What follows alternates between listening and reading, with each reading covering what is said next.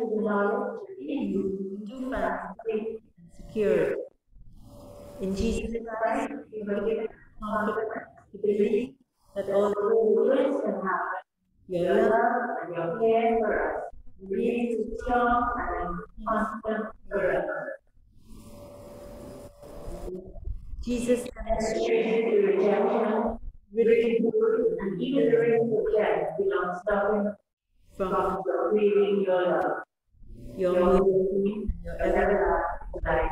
Power. We approach you, Lord, confident in your heart's love, protection.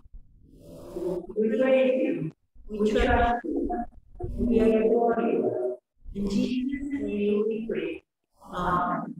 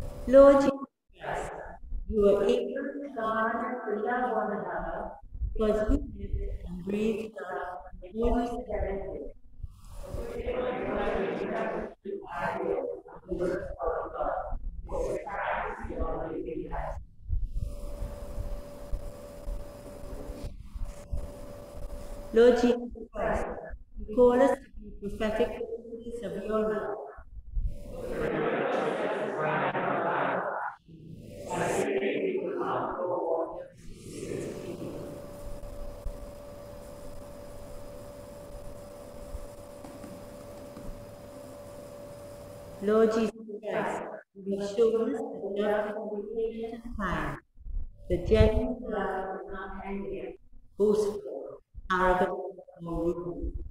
Above all, we have demonstrated the love can bear all things, hope all things, and endure all.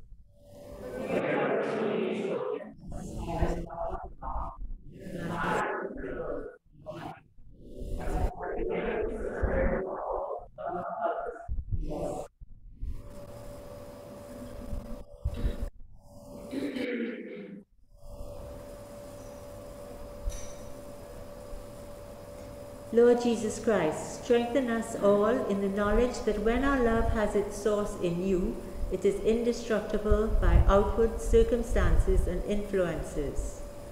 Realign our lives and our hearts to your love, so that faith, hope, and love dwell within us, and our lives testify that the greatest of your gifts to us is truly the gift of love. Amen.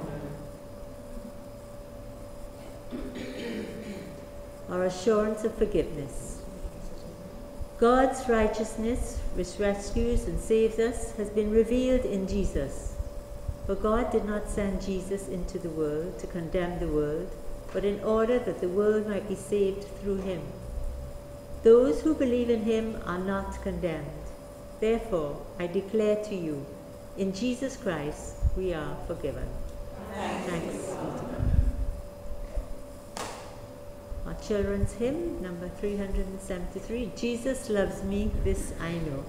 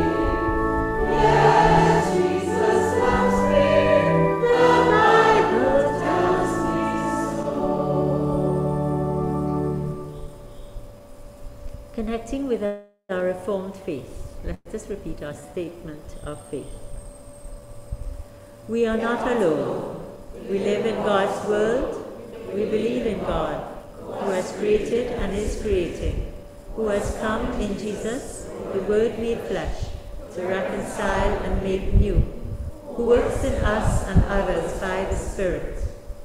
We trust in God.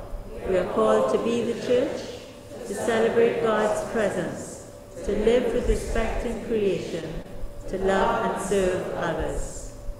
We seek justice and resist evil, to proclaim Jesus, crucified and risen, our judge and our hope. In life, in death, in life beyond death, God is with us. We are not alone. Thanks be to God. We eagerly listen for a word from you, Lord Jesus Christ, to help us in our daily life and to equip us for the mission to which you have called us. Our hymn of illumination, Your word, O God, awoke the uncreated. Will the readers come up, please? Prayer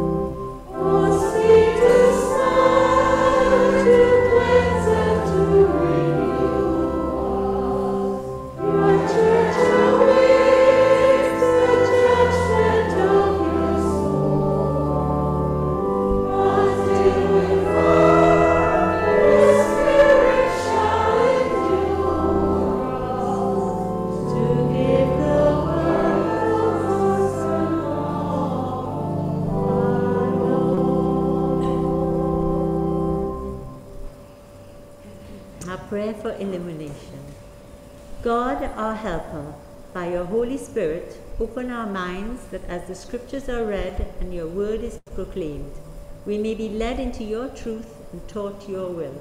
For the sake of Jesus Christ our Lord. Amen. The read word, the Holy Scriptures.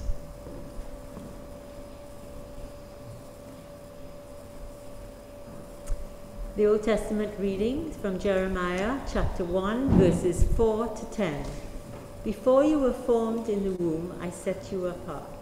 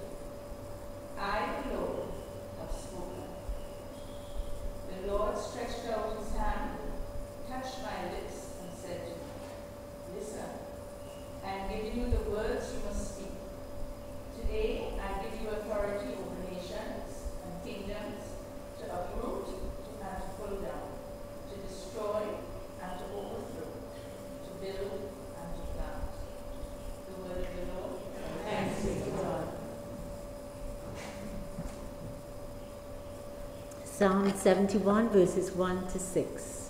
God is our fortress and sheltering rock. In you, Lord, I have taken refuge. Let me never be put to shame. In your righteousness, rescue me and deliver me. Turn your ear to me and save me. Be my rock of refuge, to which I can always go. Give the command to save me, for you are my rock and my fortress. Deliver me, my God, from the hand of the wicked, from the grasp of those who are evil and cruel. For you have been my hope, sovereign Lord, my confidence since my youth. Birth I've relied on you.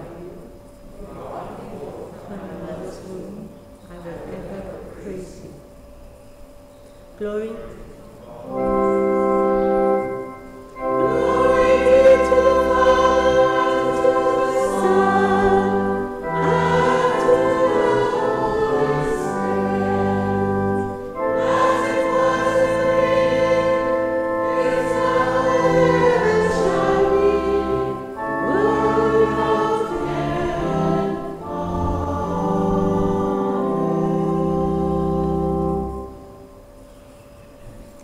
epistle reading 1 Corinthians chapter 13 verses 1 to 13. Love is patient and kind.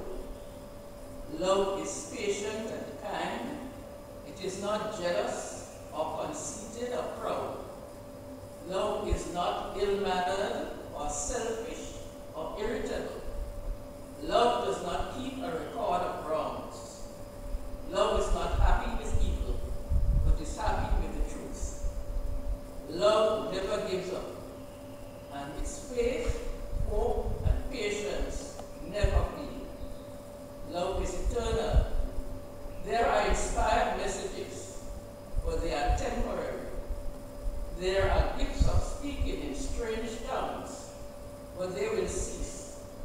There is knowledge, but it will pass. For gifts of knowledge and of inspired messages are only partial. But when what is spoken comes, then what is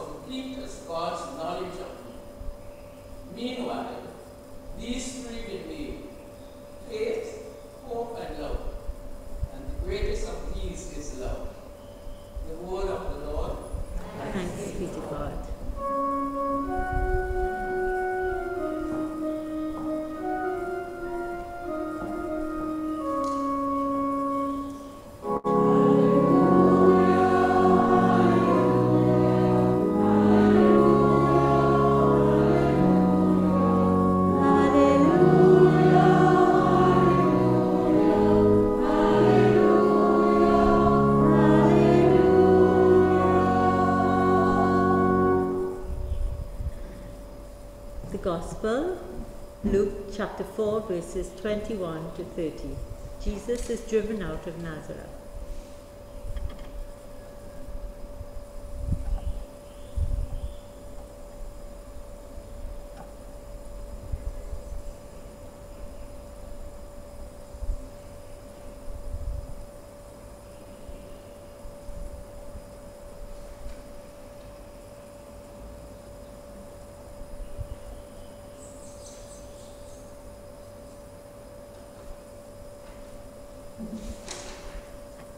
My apology. Good morning to all.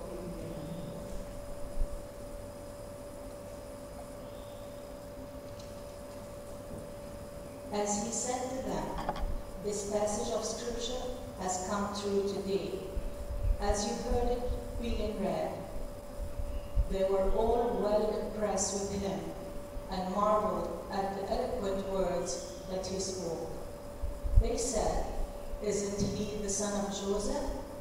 He said to them, I am sure that you will, you will quote this proverb to me, Doctor, heal yourself. You will also tell me to do here in my hometown the same things you heard were done in Capernaum. I tell you this, Jesus added, prophets are never welcome in their hometown. Listen to me. It is true that there were many widows in Israel during the time of Elijah, when they were no rain. For three and a half years, and a severe famine spread throughout the whole land. Yet, Elijah was not sent to anyone in Israel, but only to a widow living in Zarephath in the territory of Sidon. And there were many people suffering from dread skin disease who lived in Israel during the time of the prophet Elisha. Yet, not one of them was healed, but only Naaman the Syrian. When the people in the synagogue heard this, they were filled with anger. They rose up, dragged Jesus out of the town, and took him to the top of the hill on which their, town was built.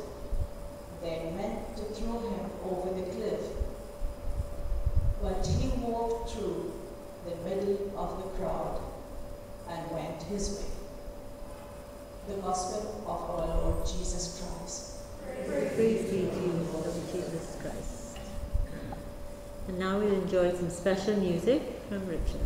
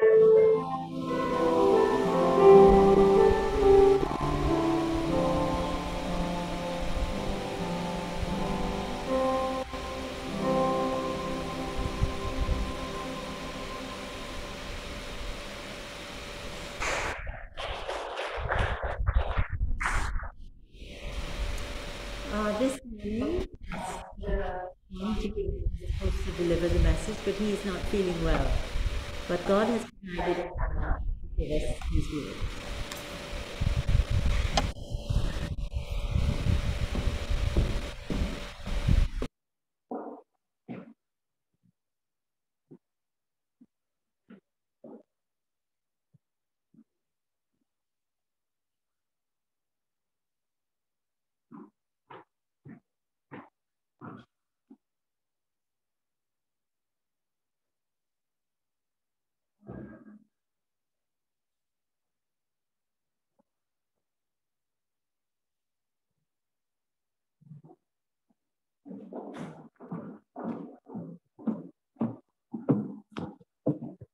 Good, mo- Good morning.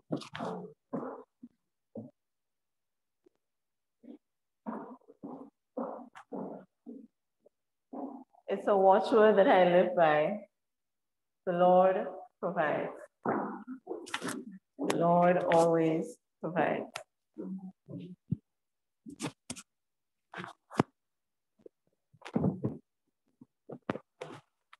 Um, can somebody just take this from me? I think I touched it unconsciously, thinking it was my phone and I needed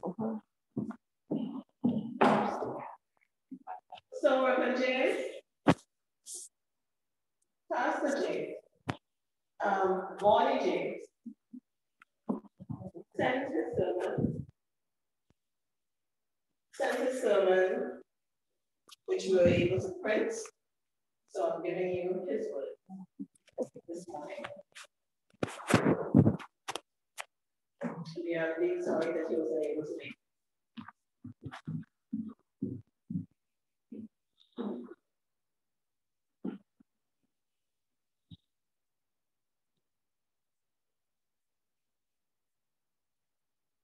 Today's sermon is titled Holy Disruption. And the scripture readings were taken from Jeremiah 1, 4 to 10, Luke 4, 21 to 30.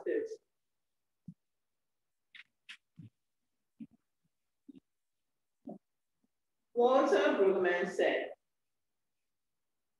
we tend to think in systems and continuity and predictability and schemes and plans. I think the Bible is to some great extent focused on God's capacity to break those schemes open and violate those formulae.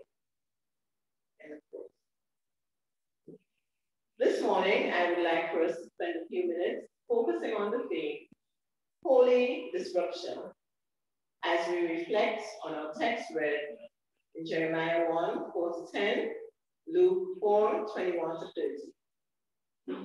30. Let us pray. Lord, may the words of my mouth and this sermon which I deliver be the articulation that Bonnie wanted delivered here this morning. May they be acceptable to you. Amen. The Old Testament prophets spoke to Israel in times of historical and moral crisis. They saw themselves as being part of a story that God was weaving throughout history. A story of repentance, encouragement, and of a coming Messiah. Most Old Testament prophets had literary tendency. They wrote. However, most prophetic books provide little or no information about the life of the prophet. The book of Jeremiah is different. Jeremiah's life was that of a seasoned criminal in Caribbean. He bore the pain of destruction of a manuscript by King Jehoiakim, false accusations of treason, forced exile to Egypt, imprisonment, persecution, and an unfruitful search for just one righteous person. These accounts make the book of Jeremiah as, as exhilarating as it is inspiring. Like many ministers of the gospel, I have been wrestling with this passage. This passage describes how God called the prophet Jeremiah. Reading the book of Jeremiah is like traveling over the speed bumps we find throughout Grenada. However, when doing a deep study of it, we find several truths. God birthed Jeremiah into a family that had a history of religious service. Jeremiah's father was a man named Hilkiah, Jeremiah 1 1. Being a member of the clergy class in the city of Anathoth, Jeremiah 1 1, 6, scholars believe that Hilkiah trained Jeremiah from an early age to follow in his footsteps.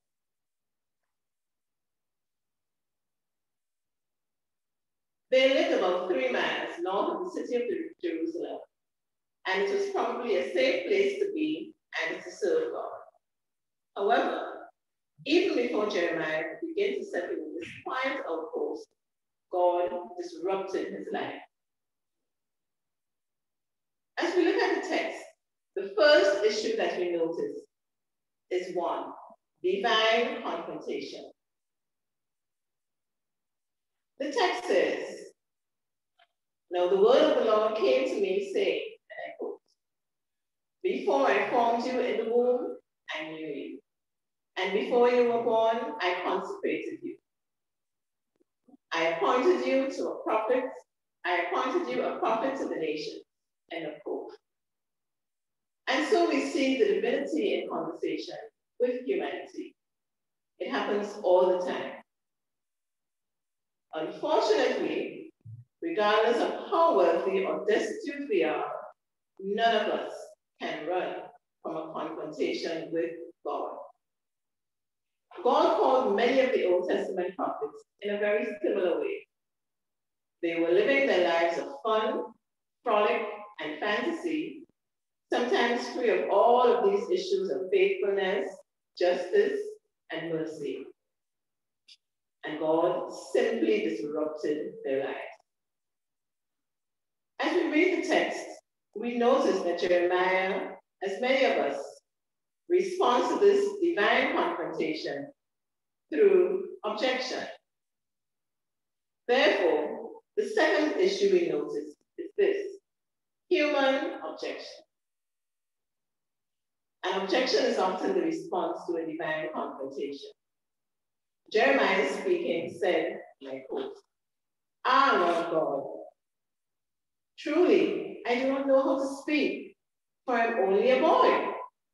But the Lord said, Do not say I am only a boy, for you shall go to all to whom I send you, and you shall speak whatever I command you. Do not be afraid of them, for I am with you to deliver you, says the Lord.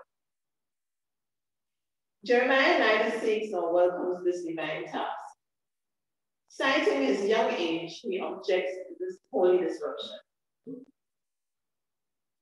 And I wonder at times our objections, and I wonder if at times our objections, God says, Duh, you forgot that I formed you. I knew you since you were in your mother's womb. It was I who allowed you to grow and become who you are now. Your excuses are lame and without logic. God never allows Jeremiah's youth to stand in the way of sending a message that the people of Israel need to hear. And God will never allow your age or stage in life to stand in the way of sending a message that the people of God need to hear. God meets Jeremiah's objection with this confirmation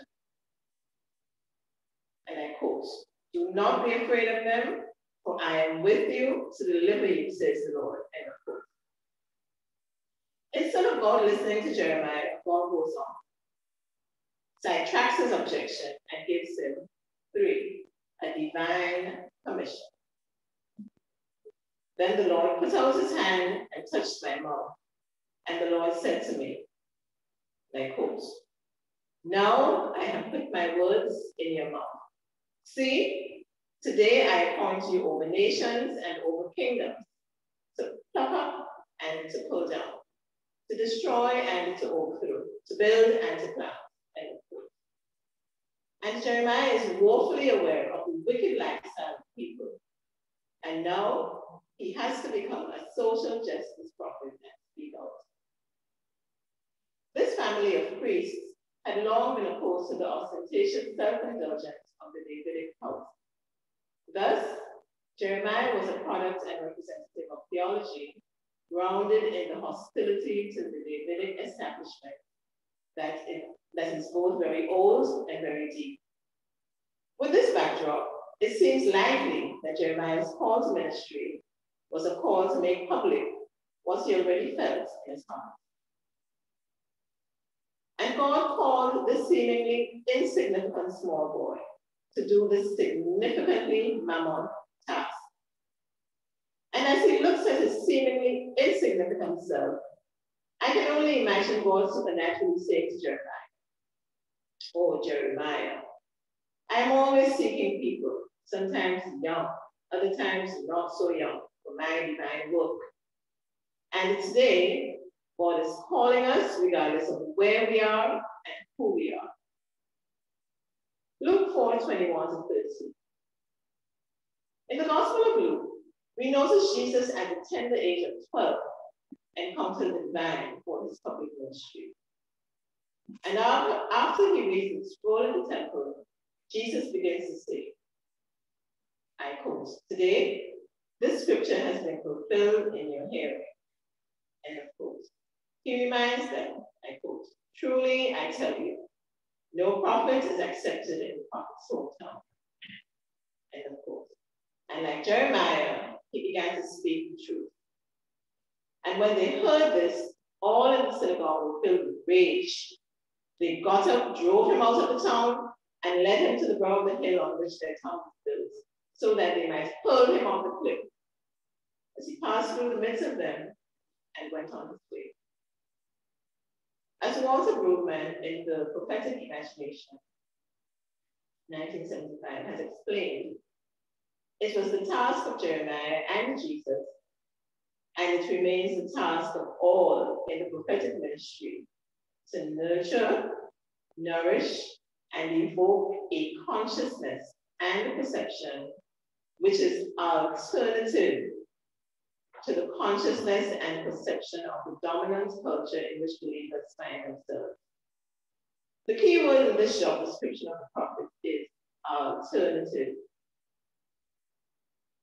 The alternative consciousness and perception that the prophet evokes are not rooted in social theory or in righteous indignation, or altruism, but in the genuine alternative that Yahweh is. In other words, prophets are not simply investigative reporters who root out social inequalities and injustices and castigate their perpetrators. Rather, prophets arouse within their listeners an alternative consciousness, which in turn perceives, understands, appreciates and evaluates reality according to the will, word, and wisdom of God. The church is a prophetic voice of today. How willing are we for God to disrupt our lives too? Of sermon. Mm-hmm.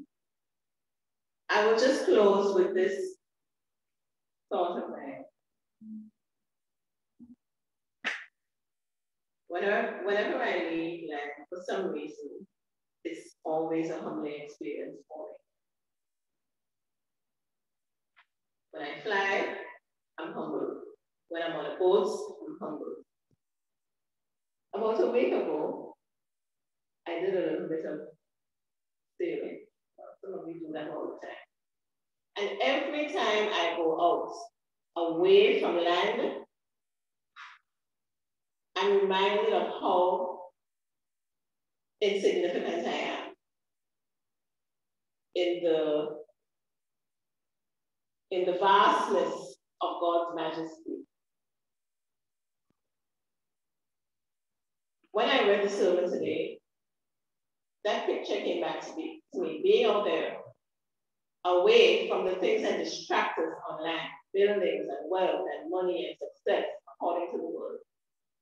And you know, you just you look at you look at it from a distance and you're thinking how big here is and how small there is. And people fight daily for boundaries and go through all sorts of legal battles, family and, and strangers over, you know, temporal things. Missing the mark, missing the mark of the true meaning of our life. Let us like the prophet Jeremiah this morning. Not let the daily humdrum and the daily distractions of the large buildings in which we find ourselves and the successful people who surround us, but successful according to worldly standards. Often. Let us not be distracted by the meaningless, and let us instead be encouraged by the richness that the experience of Jesus Christ is and can bring to our lives. Having an experience with Christ compares to nothing else. And those of you who have that experience can bear me out on this. It compares to nothing else and no one else. We, as Christians, as part of the body of Christ, are challenged this morning to bear, witness, and share with others that alternative consciousness that Christ gives. We're supposed to be living out what Christ did, witnessing to others what Christ did. Are others seeing Christ in us? Are they turned on by what they see? Are they turned on by what they see? Let's ask ourselves these questions today. I'll close with prayer. Eternal God, we thank you this morning for your word. You knew that Bonnie was not going to be well this weekend, but you allowed him to be well enough to prepare the sermon because this is the word you wanted us to receive today. So even as we pray about the sermon, we pray that you would touch him in a special way, that your healing hand will rest upon him, that you, you will restore him to perfect health as soon as possible. God, we thank you for your word, which is sharper than any two-edged sword. We thank you for your word, which is supposed to wake up the dead in us, make us conscious, make us aware of where we're going off track. Through your power, through your mercy, through your grace, you have allowed us to fall, but you, you, you ask us to come back to you hearts whenever we see. So God, this morning we come before you confessing wrongs that we've done. We come before you confessing things that we failed to do, things that we may have said that may have displeased you. We ask for your forgiveness. Let your word so pierce us so that you will remove the carnality that's in us and replace it with your divine power and spirit. We ask this in Jesus' name. Amén.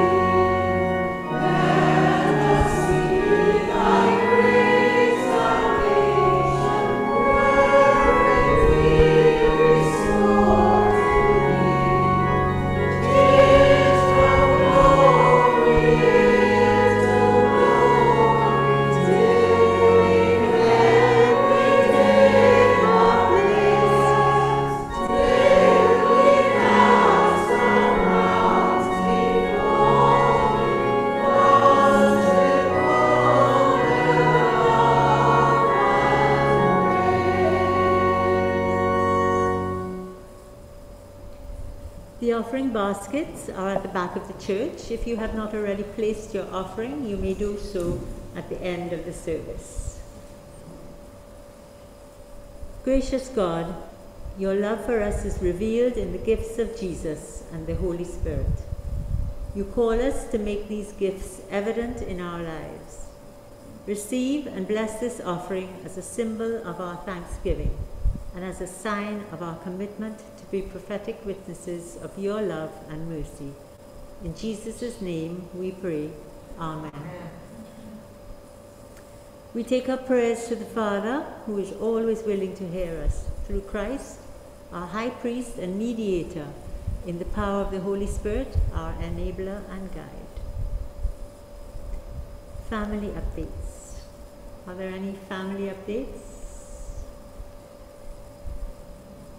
Birthdays, anniversaries, sad news?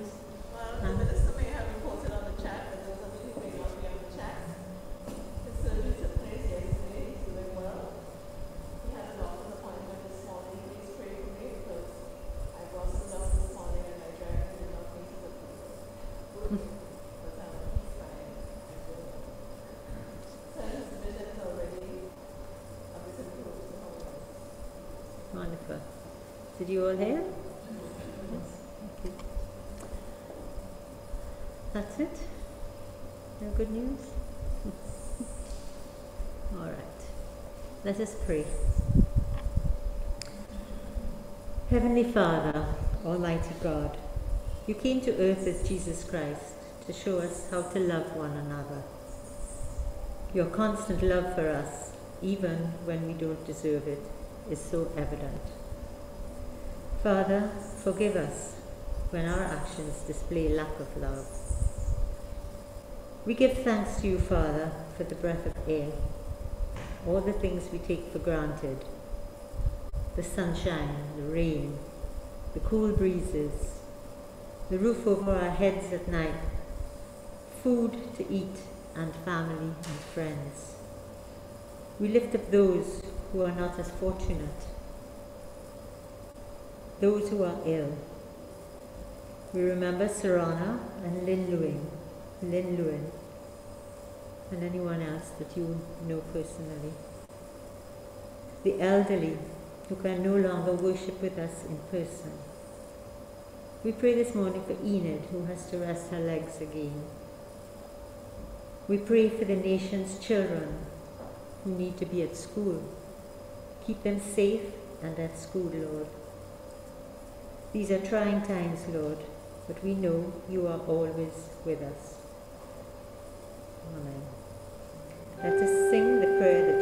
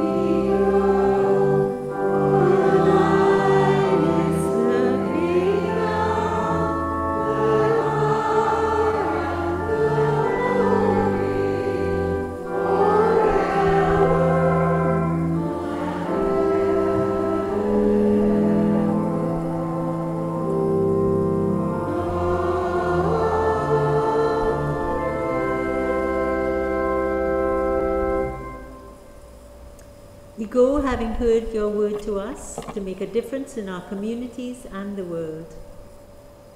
Are bidding him, O God, our help in ages past.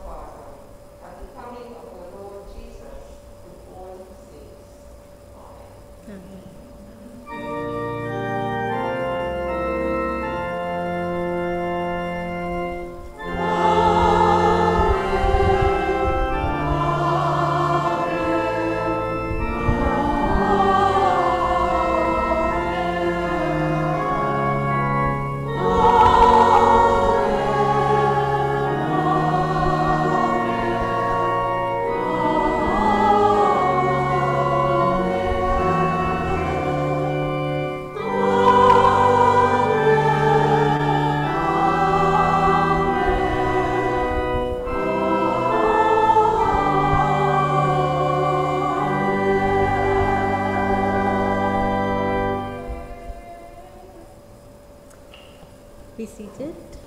If through the fellowship, the liturgy, the hymns, the reading of scripture, the special music, or the sermon, God has spoken to you and you desire to make a profession of faith, commitment of life, become a member of this congregation, make a pledge or just to talk, please contact the minister to arrange an appointment.